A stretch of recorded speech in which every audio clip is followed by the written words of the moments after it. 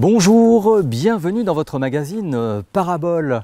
Au sommaire euh, de ce numéro, un congrès mondial des facteurs d'orgue, suivi d'une journée de découverte du Sungo par les séminaristes, et enfin notre agenda interreligieux. La dernière fois qu'ils ont fait un congrès mondial en France, c'était en 1998.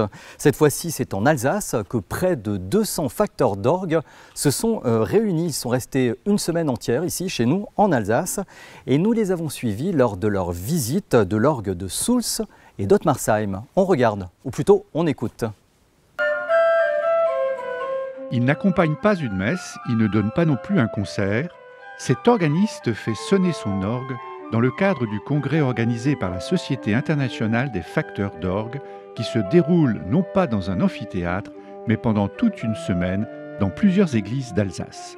L'ISO, euh, c'est une association qui regroupe 223 entreprises sur 23 pays.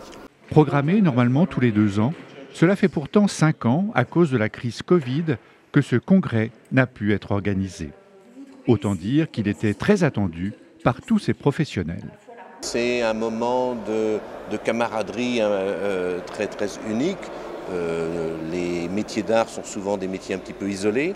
Et ce que fait l'ISO, cette société internationale de facteurs d'orgue, eh c'est de promouvoir des échanges entre les facteurs d'orgue. Autour de ces orgues, eh bien, se créent des conversations, des conversations techniques.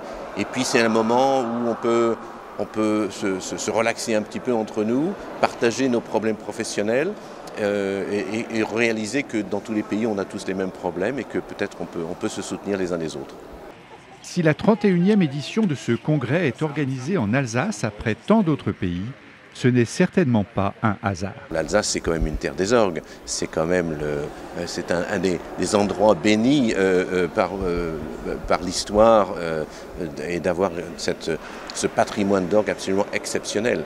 C'est en effet pour découvrir les propriétés techniques et uniques de chacun de ces orgues que se retrouvent tous ces passionnés.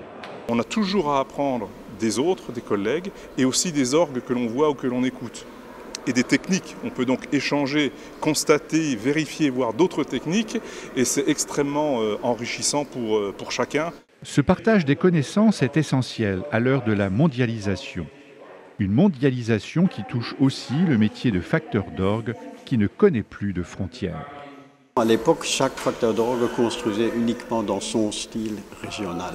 Tandis qu'aujourd'hui, nous sommes confrontés à une situation tout à fait différente parce qu'on a restauré des instruments de différentes époques, dans différents styles. Quand on construit du nouveau, parfois ça peut être un orgue français classique, parfois ça peut être un orgue allemand baroque. Donc, donc on est obligé aussi de s'informer.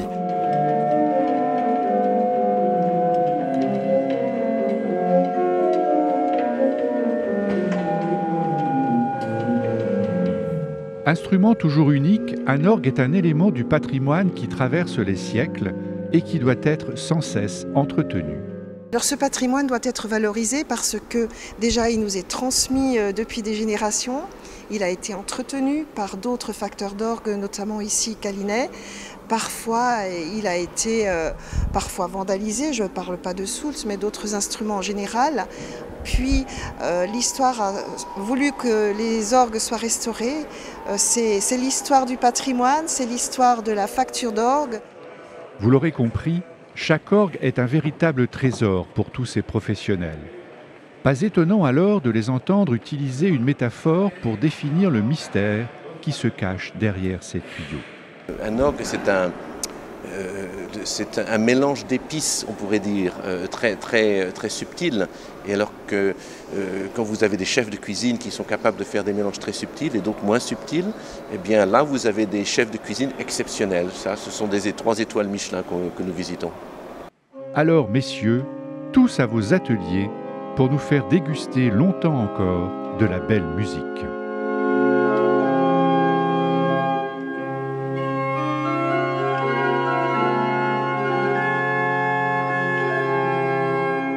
Eh bien, on va rester dans le Haut-Rhin pour ce prochain reportage et on va aller plus spécifiquement dans le Sungo. Pendant une journée, les séminaristes du Grand Séminaire de Strasbourg sont allés à la rencontre des professionnels et des coopératrices du secteur. L'occasion pour les futurs prêtres de découvrir un territoire sur lequel ils exerceront peut-être d'ici quelques années.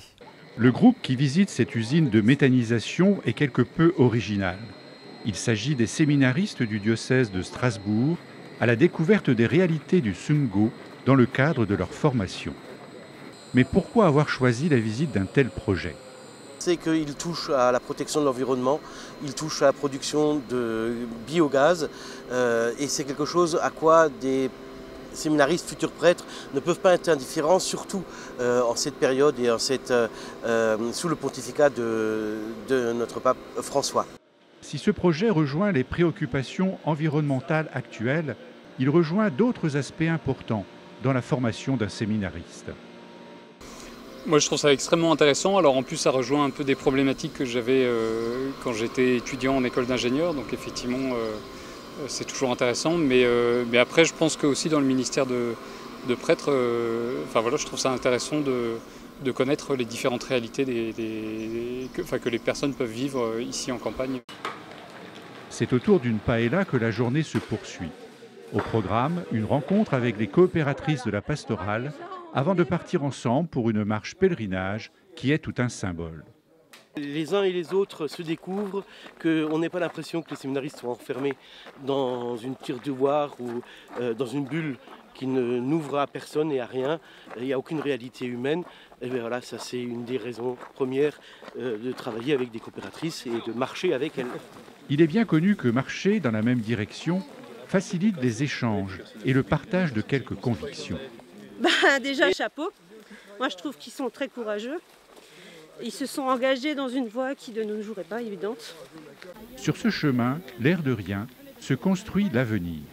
On est dans une situation où on quelque part on est obligé de vraiment penser la suite de la mission euh, des, chrétiens catholiques dans un diocèse où euh, on sait bien que d'ici 10-15 ans, euh, ce qu'on fait aujourd'hui ne sera plus forcément possible avec les mêmes effectifs, avec les mêmes moyens.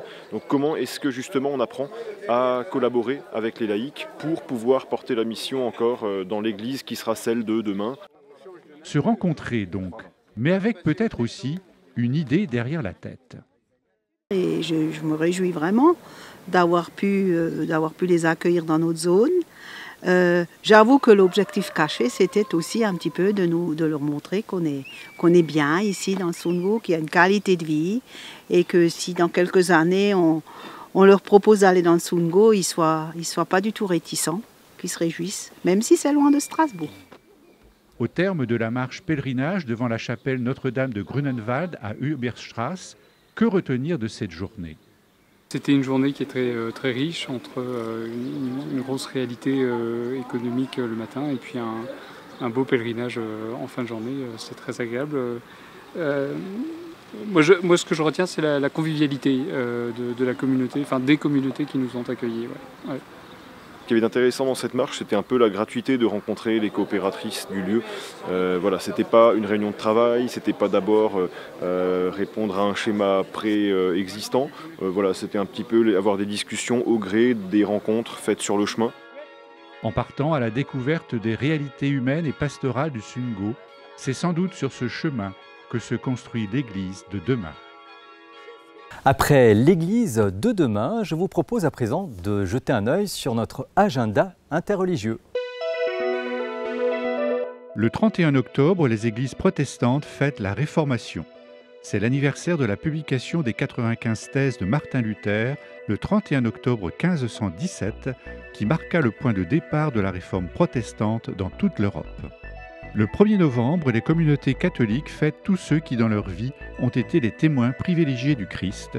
Certains sont des saints reconnus, d'autres sont restés anonymes. Le lendemain 2 novembre, les communautés font mémoire de tous les fidèles défunts.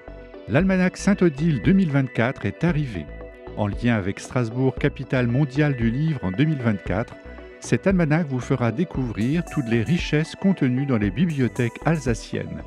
Toute information sur www.alsace.catholique.fr.